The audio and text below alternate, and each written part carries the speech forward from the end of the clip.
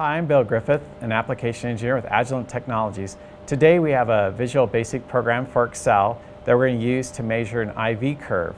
The program will be controlling our E3632A power supply and for our DUT we're going to be using our electronic load and it's quite noisy and the reason for that is it can sink up to 600 watts of DC power.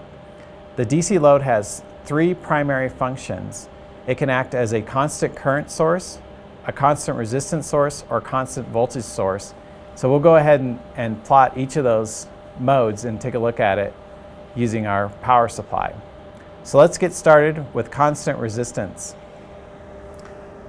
We've got our power supply all set up to measure.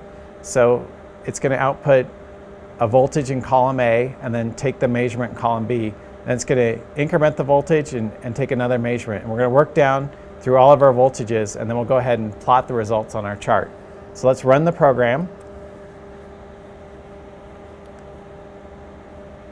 So all of our measurements are completed and there's our plot of our constant resistance source. So let's move on to constant current. We've now set up our DC electronic load for a constant current mode. Let's go ahead and rerun our program. So once again, it's going to output each of the voltages, and as it outputs a voltage, it's going to measure the current. And as you can see, the, the output is a flat line at 2.5 amps, so it measures 2.5 amps for each of the voltages. So real quickly, let's look at the underlying program. So this is our, our visual basic program that we're, that's making the measurements.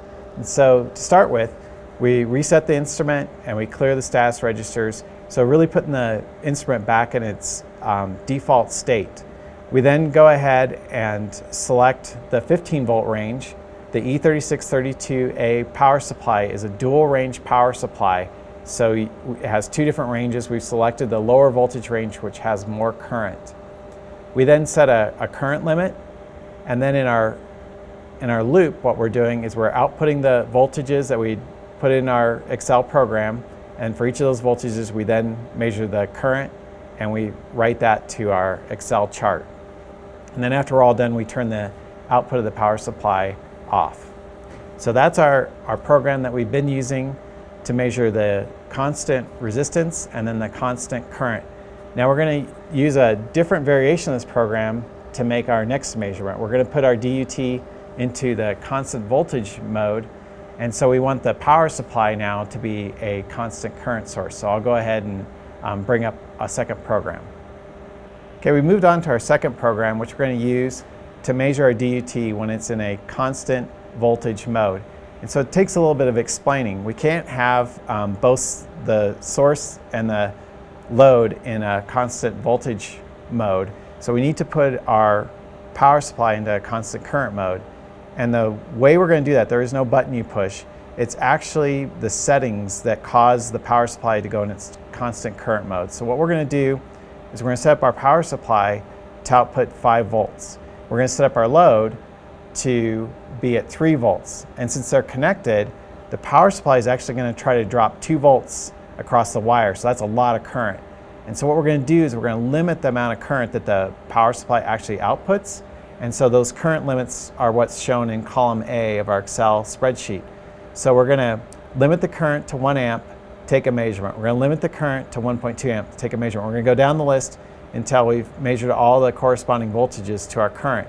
So with the current limit set, the power supply will be operating in a constant current mode and we'll be able to measure our DUT as it's a constant voltage source.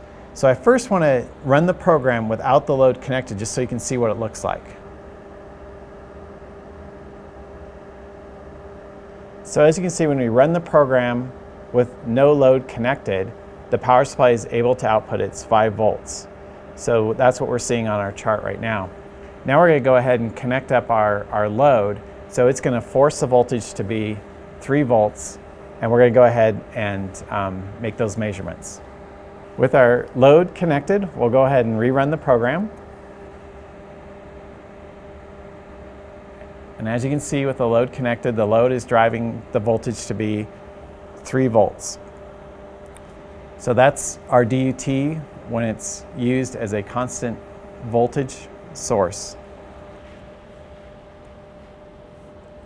So here's a simple program that measures the IV curve of a DUT. Um, we used electronic load today and showed the three different modes, the constant current mode, the constant resistant mode, and the constant voltage mode. Thanks for watching.